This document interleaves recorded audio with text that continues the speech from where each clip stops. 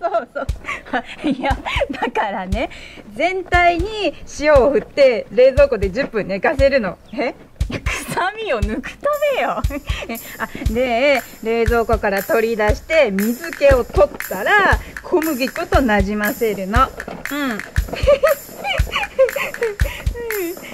それでフライパンであーどのくらいかな。あの焼き色がつくまで。中火ね、うん、で焼く。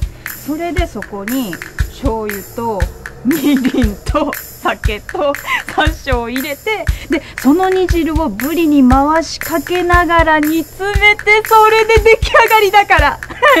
そうだよ。